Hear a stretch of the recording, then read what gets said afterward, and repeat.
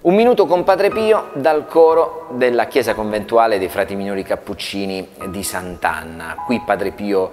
dimorò eh, per alcuni mesi nel 1916 in questo luogo sicuramente i suoi momenti di preghiera quotidiani, il coro, il coro che ci ricorda anche le stimmate di Padre Pio. Eh, oggi però vogliamo raccontarvi quello che accadde proprio in riferimento alle stimmate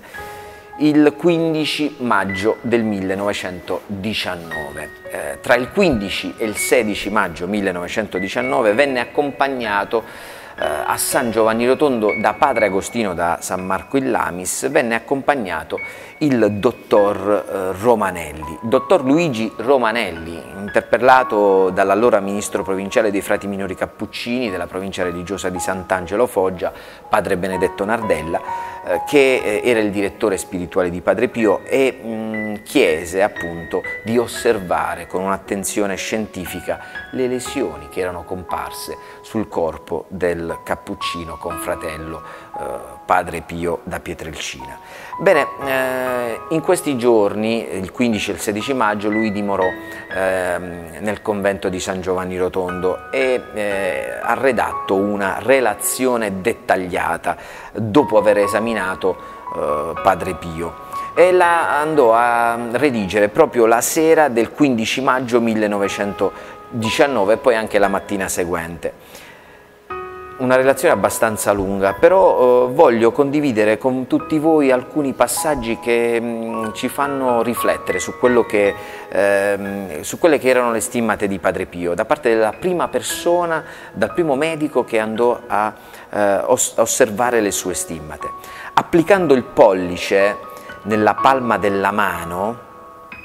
e l'indice nel dorso, scriveva Romanelli, coprendo in tal guisa le due zone descritte e facendo pressione, che riesce oltremodo dolorosa, sia la percezione esatta del vuoto esistente tra due dita, soltanto divise da membrane da tessuto sottile e molle, che alla pressione dà l'idea di sabbia, mentre non si percepisce alcuna resistenza né da parte delle ossa né dei tessuti molli esistenti in dette regioni, scriveva Romanelli. Poi eh, scrive sui piedi, i piedi comprimendo contemporaneamente sia nella regione dorsale che palmare appare manifesto che esiste uno spazio vuoto e che il piede è perforato ricoperto sui fori dalla membrana descritta, poi dal torace, dalla ferita del torace dal basso verso l'alto è noto una fuoriuscita di sangue arterioso. E poi conclude, da settembre fino ad oggi le lesioni conservano lo stesso aspetto, si mantengono nel medesimo stato e quello che è più meraviglioso è che non producono alcun disturbo e alcuna difficoltà sulle funzioni degli arti, come sono le ferite comuni. È da escludere, scrive Romanelli,